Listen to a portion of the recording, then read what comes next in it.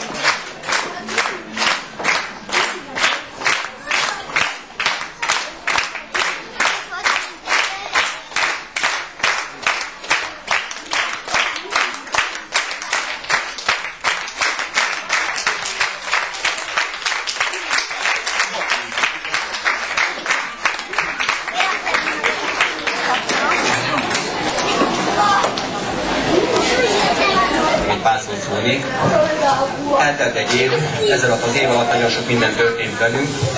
Először is azzal kezdeném, hogy több helyen felléptünk, több helyen szerepelt a csoport, így erőműn, aztán voltak a pásztori születen, táncoltak itt a helyi rendezvényeken több alkalommal, illetve Kapcon is táncoltak, és ez a felépés is azért érdekes, mert egy év után elérték azt a táncosaim, amit én kb. 10-12 évi táncolás után, hogy pénzért táncolhattam. Ez nagyon sokat jelentett nekünk, ugyanis ezt a szép ruhát többek között ebből ö, tudtuk elkészíteni.